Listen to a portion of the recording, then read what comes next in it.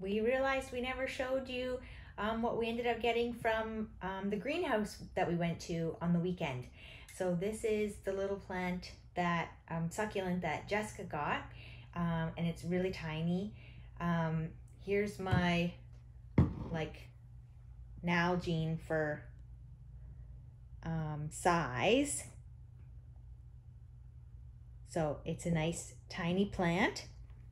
Um, and then um, I got, I didn't get the, the planter because I already had it, so I'll, I'll explain that. Um, but I got a little plant. I've been looking for a little succulent that I could plant in it. So um, I have this little tiny frog from, um, this is by Callie Lerman. I'll put her um, info below. Um, but she is a knitter and she's also um, a very talented artist.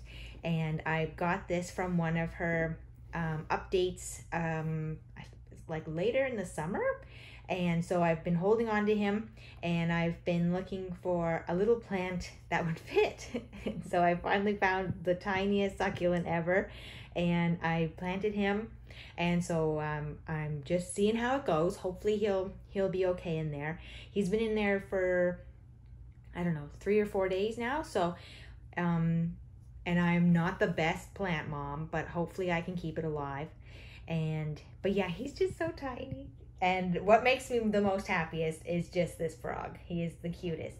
When I saw this on Callie's um, Instagram, I was like, oh, that frog and like um when she did the update the there was um, a few frogs with slightly different um, expressions. And as soon as i saw that the one that had got me on instagram was available i was like okay he he has to be mine. And so i'm so pleased with him. He's so tiny and cute. And so i keep him on my desk. And um, yeah i really like looking at him. And i'm gonna try my best to keep his little plant buddy alive. And yeah, we'll see how it goes. But I'm very, very pleased with this. She is super talented. Um, if you ever have a chance to check out her work or even just to follow her, um, I really like her style and I always find um, when one of her photos appears in my like Instagram feed, it always like makes me pause and I always um, appreciate um, looking at what she's come up with. And so, um, yeah, I just wanted to share it with you in case you don't know about her. So yeah, he's my little buddy and I still have to come up with a name for him. I'm still working on that. Because I definitely want to give him a name. but yes, I will talk to you soon.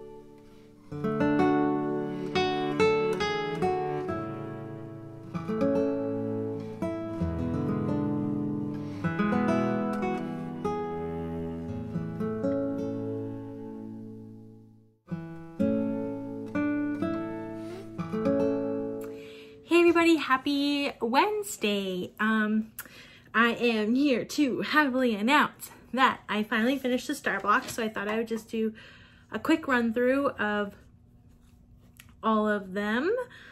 And so I'm just trying to flip them, get them started, because now they're mixed in a pile with the house blocks. So I thought I would just do a quick run through of them um, so you can see um, them all in their glory. So there's this one. It's the black star with a, a white border, a brown border, and then a black border. And then I did tie-dyed one. But this um, monochromatic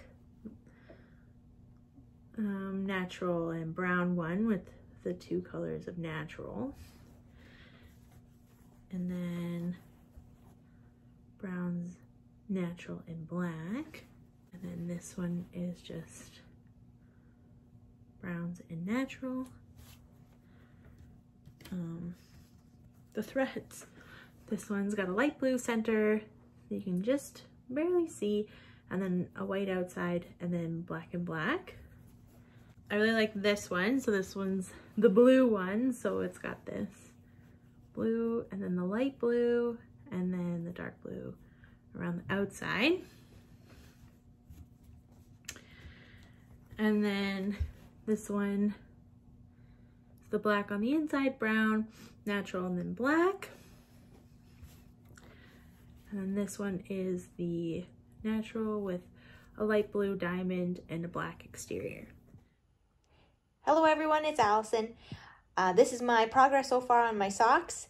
Oh, well, my first sock. I have my heel done, which is great. And I just finished my decreases a couple rows ago. So um, now it's clear sailing until the toe. So I just started another um, purple row, which is our Cosmos color. And yeah, so I'll see how many um, stripes I can get in before I get to the toe, which will then be in the willow. So it's uh, it's going actually quite fast. I mean, for me, um, as a sock knitter, I'm quite slow, but I do find that the changing of the stripes helps to keep things moving along because I always have to be paying attention for 10 rows.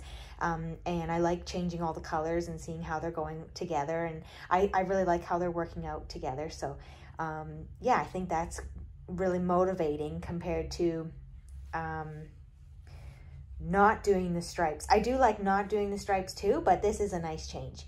So I'm enjoying it and I'm thinking of actually, I could probably cast on the second one right now because I found another nine inch circular and I don't need this until the toe. So I could um, cast on my cuff, but I'm also debating maybe um, changing it and doing um, another color as the heel, toe, and cuff in the second sock. I'm not sure. Um, but I thought that might be kind of fun too, to have um, the stripes going in a kind of like in a different sequence for the second sock. So, or maybe the same sequence, but it just starts with another color. So, um, yeah, so I'm still playing around with that idea.